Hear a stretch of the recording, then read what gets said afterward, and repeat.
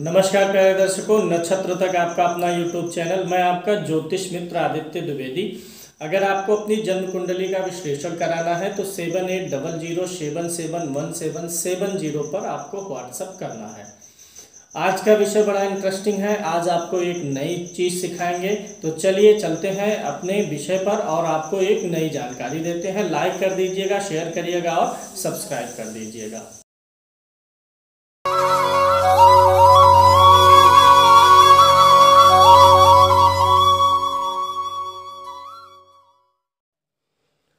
तो आज का हमारा विषय है बुध ग्रह से संबंधित, क्योंकि ग्रहों की सीरीज़ चल रही है, सूर्य, चंद्रमा, मंगल से क्या विचार होगा, हो चुका है। आज बुध ग्रह से क्या विचार करें, इसके बारे में बात करेंगे। और इस कार्यक्रम को देखते हुए आप समझ जाएँगे कि आपका बुध शुभ है या अशुभ है और क्या उपाय करना है। बुध का उपाय भी हम आपको बताएँगे। पूरा कार्यक्रम देखिए, अंत तक ज़रूर देखा करिए, निवेदन है आपसे। आप लोग पूरा नहीं देखते, ज़रूर देखिए पूरा। अगर कुंडली में आपके बुध तीन नंबर की गिनती पर लिखा हुआ है तो बुध अपने घर का है, स्वागृही है। ऐसा बुध अच्छा माना जाएगा। बुध छः नंबर की गिनती पर है तो उच्च का है अच्छा माना जाएगा। लग्न और नौमांस दोनों कुंडलियों को देखिए। अगर किसी भी लग्न या नौमांस में किसी में तीन नंबर या छः नंबर में है तो बुध आपको अच्छा परिणाम देने में सक्षम है। और जो बुध ग्रह से विचार होता है, यहाँ पर सारी चीज़ें अच्छे रिज़ल्ट में आएँगी। बुध अगर 12 नंबर की गिनती पर कुंडली में लिखा है तो नीच का है। बुध उत्तर दिशा का स्वामी है। दिशाओं का विचार, जैसे विवाह आदि का विचार करते हैं तो वहाँ पर ज़रूरत पड़ती है। बुध के देवता विष्णु भगवान हैं, और वात पित्त इसकी धातु होती है। अगर कुंडली में बुध अच्छा हो और राहु खराब हो तो बुध राहु के दोषों को समन करता है। राहु खराब हो तो बुध को सही करके हम राहु के दोष का निवारण कर सकते हैं। इसके अलावा बुध हमेशा कुंडली में सूर्य के आसपास ही रहता है। अन्य ग्रह देखेंगे, सूर्य से चौथे, पाँचवें, छठवें, सातवें, आठवें घर तक जाते हैं, लेकिन बुध हमेशा या तो सूर्य के साथ रहेगा या तो एक, दो घर आगे पीछे ही रहता है। जब सूर्य से बुध तीसरे घर में चला जाएगा या दूसरे घर में अंशों से दूर हो जाएगा तो वक्री हो जाता है। कोई भी ग्रह जब सूर्य से बहुत ज़्यादा दूर जाता है तो वही ग्रह वक्री अवस्था में हो जाता है। तो हमेशा बुध सूर्य के आसपास ही रहने वाला है।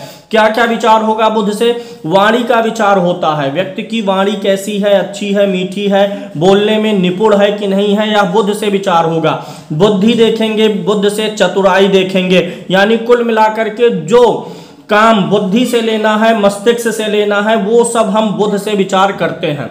जो हमारे शरीर का स्नायु तंत्र तंत्र है, वह भी बुद्ध से ही विचार होता है। नस नर्वस सिस्टम जो है, नर्व जो है, वो भी बुद्ध से ही विचार किया जाएगा। व्यापार में जो लोग हैं, व्यापार और वाणिज्य का कारक ग्रह बुध है बुध से ही व्यापार का विचार होता है। सेल्स एंड मार्केटिंग में वे लोग अच्छा प्रदर्शन करते हैं, जिनका बुध अच्छा होता है। अगर बुध अच्छा है तो आप सेल्स एंड मार्केटिंग में निपुण हो सकते हैं। लेखा जोखा से संबंधित जितने काम हैं, वो सब बुध से होंगे। बुध अच्छा अगर है आपकी कुंडली में तो लेखा जोखा विभाग से संबंधित आप काम करेंगे अकाउंटिंग का काम करेंगे, या ऐसे क्षेत्रों में नौकरी के लिए योग बनेगा। तो लेखा जोखा से ही जुड़ा हुआ गणना है। गणना से संबंधित सभी कार्य, तर्क ऐसे व्यक्ति की प्रबल होती है। तर्क शास्त्री अच्छे बन सकते हैं। बुध अच्छा ना हो तो ऐसे व्यक्ति के तर्क कमज़ोर होते हैं। बैंकिंग विभाग हो गया और क्लर्कियल जॉब बुध से ही विचार करेंगे। बुध अच्छा हो तो बैंकिंग में और कलर्कियल जॉब में अच्छी सफलता मिलती है। हरियाली और हरी चीज़ों का विचार बुध से करेंगे। हरियाली हो गया हरी चीज़ें, जैसे कृषि के कार्य हो गए, हरे फल, फूल और सब्ज़ियाँ हो गई तो बुध के द्वारा देखेंगे अगर बुध लाभ भाव में है, बुध कहीं से भी रोज़गार में भूमिका निभा रहा है तो ऐसा व्यक्ति किसी कार्य से या फल फूल सब्जियों से धन कमा सकता है। बुध अगर खराब हो, बुध पीड़ित तो हो, बुध के दोष से व्यक्ति में तिरछी नज़र का दोष आता है। कुछ लोग होते हैं, तिरछी नज़र वाले देखते हैं तो यानी उनकी कुंडली में बुध खराब हुआ है, तभी उनकी नज़र बिगड़ी हुई है। अगर आपकी कुंडली में नौवें घर में तीन नंबर या छह नंबर की गिनती लिखी है तो आपका भाग्योदय बत्तीस वर्ष में होगा। अगर बुध भाग्य का स्वामी है तो भाग्योदय बत्तीस वर्ष की अवस्था में होता है। शरीर में, अंग में जो भीतरी अंग अग्न्याशय होता है, उसका विचार बुध से होता है। बुध अगर अच्छा हो तो अग्न्याशय अच्छा काम करेगा। खेल और खेल स्थलों का विचार भी बुध ग्रह से ही होता है। अगर बुध अच्छा होगा तो ऐसा व्यक्ति खेल कूद में रुचि ले सकता है।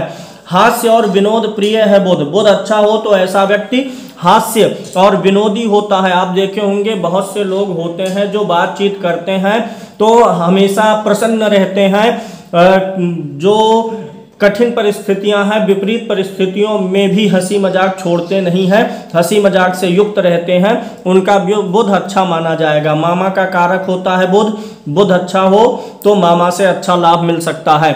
बुध चूँकि मस्तिष्क से जुड़ा हुआ ग्रह है, बुद्धि से जुड़ा है, चतुराई से जुड़ा है, इसलिए स्मरण शक्ति को भी प्रभावित करता है। बुध अच्छा होगा तो ही ऐसे व्यक्ति की स्मरण शक्ति अच्छी होगी। बुध ग्रह से ही ज्योतिष का भी विचार होता है। जो लोग ज्योतिष में काम करते हैं, अगर बुध उनकी कुंडली में तीन या छह नंबर की गिनती पर है तो ज्योतिष में वे अच्छा तर्क दे सकते हैं, अच्छी सफलता पा सकते हैं। जो लोग कंप्यूटर इंजीनियरिंग में है या कंप्यूटर से रिलेटेड जिनका वर्क है, यानी बुध उनकी कुंडली में महत्वपूर्ण है, यानी बुध के घर में ज़्यादा ग्रह बैठे हुए हैं। बुध आपको वैधक बना सकता है, वैध बनाता है, बुध से ही दत्तक पुत्र का भी विचार करते हैं। पत्रकारिता के क्षेत्र में जिन लोगों ने नाम कमाया हुआ है, बुध उनका अच्छा है। बुध विशेषकर लेखन से संबंधित, अखबार और न्यूज़पेपर से संबंधित पत्रकारिता में अच्छी सफलता दिलाता। अगर बुध के साथ सूर्य भी अच्छा हो, मंगल भी अच्छा हो तो व्यक्ति इलेक्ट्रॉनिक पत्रकारिता में ज़्यादा सफल हो जाता है। लेखन, पुस्तकों का लेखन या किसी भी प्रकार के लेखन कार्यों में बुध की भूमिका महत्वपूर्ण हो जाती है। मित्रों से लाभ मिलेगा, हानि मिलेगी बुध से विचार करेंगे बुध नीच का होगा तो इन सारी चीज़ों में कमी आएगी बुध तीन छः नंबर में होगा तो इन सारी चीज़ों में अच्छा लाभ मिलेगा। अगर बुध खराब है तो बुध की महादशा, अंतरदशा में बुरे स्वप्न आ सकते हैं। त्वचा का स्वामी बुध है बुध अच्छा होगा तो व्यक्ति की त्वचा अच्छी होगी, राहु के साथ में होगा, पाप पीड़ित होगा तो त्वचा रोग होंगे। जीभ का विचार भी बुध ग्रह से ही करते हैं। श्वास नली पर भी बुध का ही प्रभाव होता है बुध नीच का होगा तो बुध नीच का हो, राहु से पीड़ित हो तो श्वास से संबंधित परेशानी आ सकती है। श्रवण शक्ति का विचार बुध से करेंगे। जो शिल्पकारी होती है, डिज़ाइनिंग होती है बुध से विचार करेंगे। बुध जिनका अच्छा होगा, उच्चारण उनका अच्छा होगा, लोग उनके उच्चारण को स्पष्ट तरीके से समझ सकेंगे। श्वेत कुष्ठ का विचार बुध से होगा, जिनको श्वेत कुष्ठ है, उनकी कुंडली में बुध ग्रह के का मंत्र जाप वगैरह अवश्य किया जाता है। वास्तु शास्त्री और वास्तु का विचार बुद्ध से होगा, हस्तरेखा का विचार बुद्ध से होगा स्कूल, कोचिंग, कॉलेज, जितने भी शिक्षण संस्थान हैं, उन सब का विचार बुद्ध से होता है। बुद्ध जिनकी कुंडली में अच्छा होगा, वे स्कूल, कोचिंग, कॉलेज या ट्रेनिंग पर्पज का कोई काम करें तो बहुत सफल हो सकते हैं। संपादक का काम बुद्ध करवाता है, प्रकाशक का काम करवाता है, लेखन का काम करवाएगा, पोस्ट मास्टर की जॉब भी बुध में आती है। तो अगर बुध अच्छा है आपकी कुंडली में तो आपको बुध का रत्न पन्ना पहनना चाहिए। पन्ना पहनने से बुध बलवान होगा बुध अगर पहले घर का स्वामी है, पाँचवें का है, नौवें का है तो पन्ना पहनिए अगर बुध आपका खराब है या इन सारी चीज़ों में आपको लगता है कि परेशानी है तो आपको बुध की वस्तुओं का दान करना चाहिए। क्योंकि बुध का प्रभाव किस पर है? हरियाली चीज़ों पर। यानी हरी वस्तुओं का दान करके आप जो है बुध ग्रह को सही कर सकते हैं। हरी वस्तु। हरी वस्तु में क्या आ जाएगा? हरी वस्तु में सब्ज़ी आ सकती है। हरी वस्तु में आप सब्ज़ी का दान कर सकते हैं। और हरी वस्तु में आप धनिया पाउडर का दान कर सकते हैं। तो हरी वस्तुओं के दान से आपका बुध सही होगा। दान करने की विधि मैंने आपको बताई है। हाथ में जल लेकर के आपको बोलना होगा कि मैं फिर अपना नाम, मैं फला, अपने अशुभ बुद्ध की शांति के लिए या बुध ग्रह के अशुभ प्रभाव की शांति के लिए बुध की हरी वस्तुएँ दान कर रहा हूँ। इतना बोल के संकल्प लेकर के आपको दान करना होता है। तो हरी वस्तुओं का दान कर सकते हैं और बुध के दान में जो धार्मिक साहित्य है संख है, धार्मिक पुस्तकें हैं, उनका भी दान आता है। उनके दान से भी आप अपने बुध को सही कर सकते हैं। बुध का मंत्र होता है, ओम बुम बुधाय नमा। बुध का मंत्र, ओम बुम बुधाय नमा, का जप आपको करना चाहिए। नौ हज़ार मंत्र है तो नौ का चार गुना छत्तीस हज़ार दशांश जोड़ देंगे। इकतालीस हज़ार मंत्र, ओम बुम बुधाय नमः का जप करके आप अपने बुध को सही कर सकते हैं। अगर आप बुध ग्रह से संबंधित किसी भी व्यवसाय में हैं और उसमें अच्छी सफलता चाहते हैं तो बुध का मंत्र एक बार अवश्य जप कर लेना चाहिए। ओम बुम बुधाय नमः जपिए, और फिर अंत में इसी मंत्र से हवन करिए। हवन में नमः हटा करके स्वाहा जोड़ देना है। ओम बुम बुधाय स्वाहा मंत्र से हवन करके आप अच्छा लाभ उठा सकते हैं।